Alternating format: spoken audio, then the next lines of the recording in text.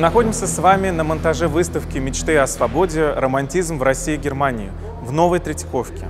Здесь уже сейчас вовсю идут работы, идет повестка картин, и скоро все будет готово. Романтизм на выставке представлен не только как искусство эпохи начала XIX века, но и как определенное мировоззрение, где начало XIX века, отправная точка, продолжает свое развитие и по сей день. В кризисные времена, во времена неустойчивых мировых процессов, когда очень трудно понять, где он, тот самый правильный ориентир, искусство романтизма предлагает осознать, что есть истинные идеалы, а что есть мнимые.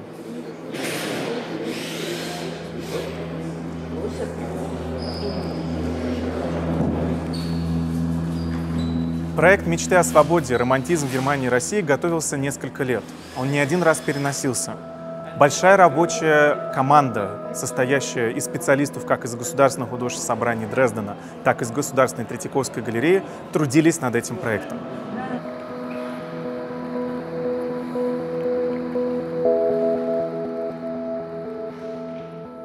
И вот я подошел к куратору выставки «Мечта о свободе. Романтизм в России и Германии» Сергею Фафанову. Вот выставок романтизма, немецкого, русского, было очень много в мире, в разных музеях, везде. Почему эта выставка так уникальна для Третьяковской галереи и в чем ее актуальность? Почему это важно показать именно сегодня?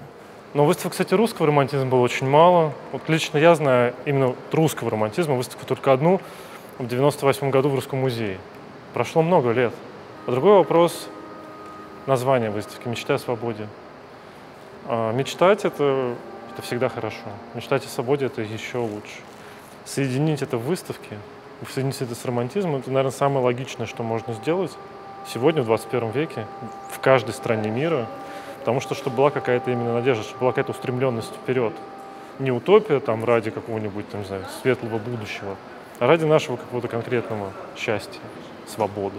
Свобода, она предполагает свободу творчества. А то, что мы соединяем русский и немецкий романтизм, вот то, что в одном пространстве висят произведения русских и немецких художников, такого никогда не было. И когда мы начали делать выставку, мы поняли, что очень много точек пересечения, что это некая симфония, которая начинает вдруг играть. И она сложилась. И вот в моменте монтажа каждый день мы приходим и радуемся, потому что она, именно эта мелодия начинает играть все отчетливее, отчетливее. И это та история, которая вдруг рассказывается впервые. И оказалось, что это очень актуально и сегодня.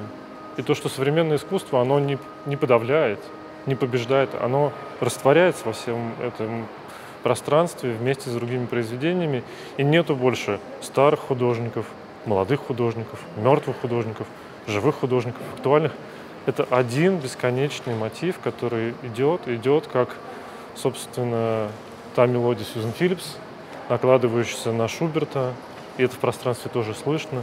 Это идет и дополняет друг друга, и создает уникальный универсум романтизма, и нам его легко понять, потому что алфавит нам знаком. Это Иванов, это Венецианов, это Кипренский, это Жуковский, это Боротынский, это Батюшков, это Лермонтов. Это то, что мы знаем, то, что как бы является такой же нашей органикой практически. А с другой стороны, будет легче через знакомых узнать то, что не знали раньше.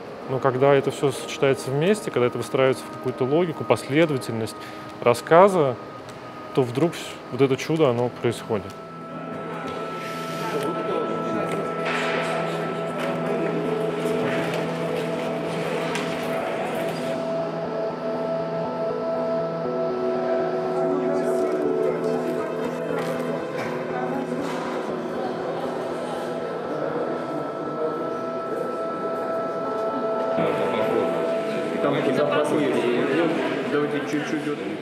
Зельфира Исмаиловна, что здесь происходит? Где мы находимся?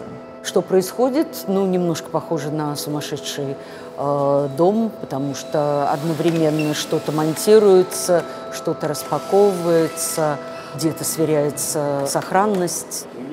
Мы хотели рассказать о рождении концепции творчества 20-19 века, той концепции творчества, которой и сегодня придерживаются художники – представление о художнике а, как неком медиуме, это все родилось тогда и мы пытаемся показать это всеми возможными способами и средствами. Это и живопись, современное искусство, и скульптура, и предметы, связанные с теми или иными великими людьми.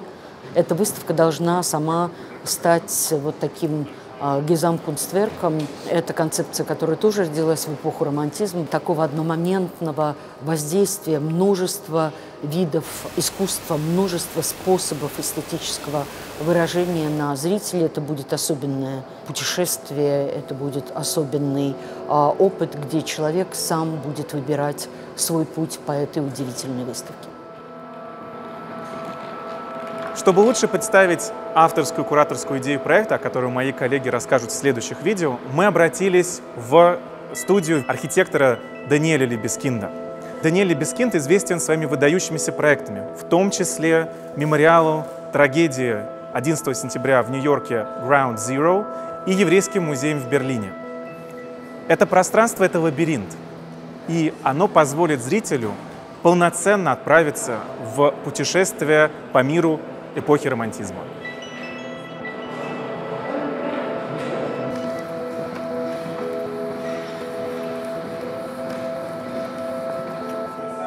А сейчас я буквально оторвал от работы Марию Иссерлис, сотрудника музея Альбертинум Государственное художественное собрание Дрезден.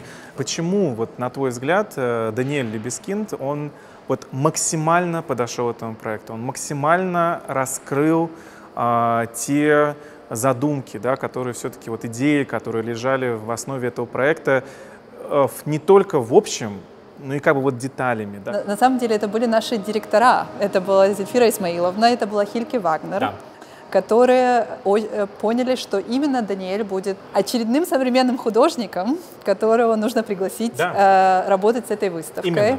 Э, и мы долго не верили, когда он согласился. Я должна признаться, что его согласие для нас было большим э, успехом, и э, вся работа происходила э, потрясающе, потому что Даниэль долго говорил с кураторами, смотрел все работы. И когда он предложил нам первый эскиз, мы поняли, что таки да.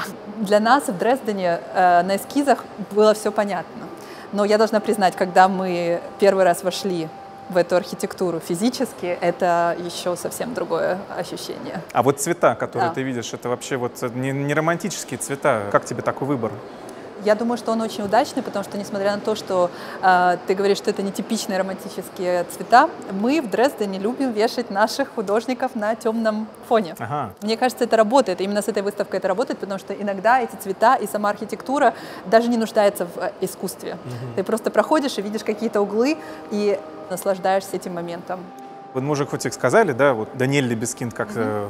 современный художник, значит, здесь есть другие современные художники, не менее важные, например, э, Сьюзен Филлипс, да, с ее интересной работой. А, ты могла бы нам немножко рассказать про нее, почему именно вот mm-hmm. такой необычный арт-объект, sound art, да, uh-huh. э, вписался вот в эту живописную выставку, uh-huh. да, где у нас все-таки больше полотен. Сьюзен Филлипс для меня абсолютный романтик. То есть она абсолютный романтик, который э, смог перенести, э, взять эту идею романтизма и перевести ее именно в звук. Это инструменты, которые э, были war damaged instruments. Извините, я ну, просто скажу э, по Музыкальные инструменты, которые были э, повреждены, повреждены войной, военное во время. Военное время. И Сузан нашла эти инструменты, э, она нашла истории, как эти инструменты были повреждены, mm-hmm. а потом она пригласила музыкантов и попросила их играть на этих инструментах. И сейчас мы слышим именно те звуки, которые возникли при игре на этих инструментах, которые очень важны, у которого у каждого из них своя потрясающая история. Думаю, что именно поэтому эта работа настолько потрясающе вписывается, и для нас было важно ее пригласить, э, включить в выставку.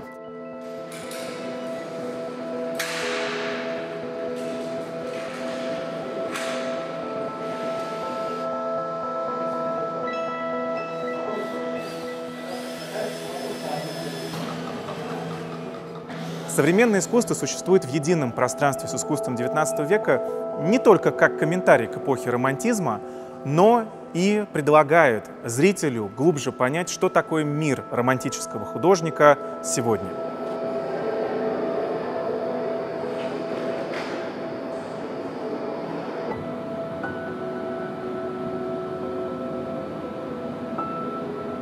А сейчас мне посчастливилось встретить э, Юанну Циглер. Я хочу задать ей пару вопросов, я переключусь на английский язык, чтобы мы понимали друг друга. We're making this show in such an uncertain and difficult time. Uh, what were the difficulties that you uh, met uh, while preparing the uh, graphical works uh, for the show? And uh, can you just tell us a bit more about your work on the project in general? Well, I'm one of the conservators to prepare all this transport and the works for coming here to Moscow. So it was my responsibility to check the condition of all the prints and drawings from the Kupferstichkabinett Dresden, um, before they could be packed and transported here. And now in these times, of course, there are a lot more things to consider during the transport. Usually as a courier, you can supervise um, the palletizing, for example, at the airport. And now there are a lot more restrictions. So there was a lot more um, organization to do before we could actually go and um, travel here.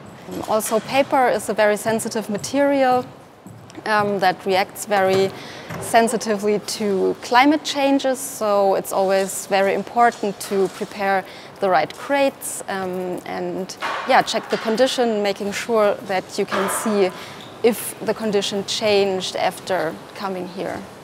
But anyway, finally you made it. Yes. So we're here, the work in progress, and uh, soon we will see all these graphical works on the walls, uh, ready to show it for our visitors. Yes, I'm very much looking forward. I mean, we already see some paintings um, from the Tretyakov Gallery and other museums in Russia that are already on the walls, and I think it will all come together very nicely with the paintings and prints and drawings from Dresden.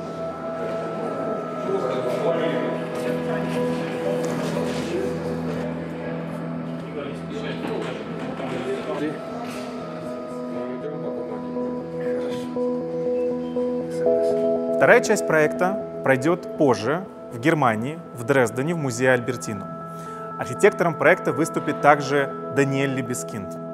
Выставка будет представлена работами искусства как и первой половины XIX века, так и современным. Также выставка будет дополнена совершенно новыми работами современного искусства.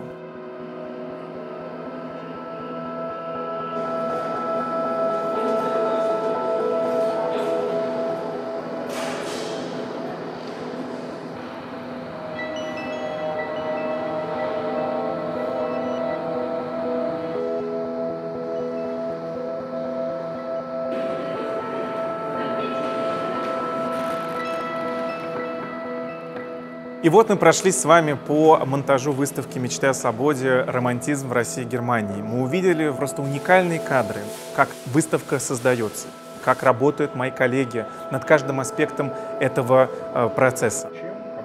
Выставка вот-вот уже скоро откроется в Новой Третьяковке, и я приглашаю вас, дорогие друзья, прийти и посмотреть ее уже в готовом виде. Если у вас есть какие-то вопросы по тому, что вы увидели, вы можете писать нам в комментарии, мы с радостью на них ответим.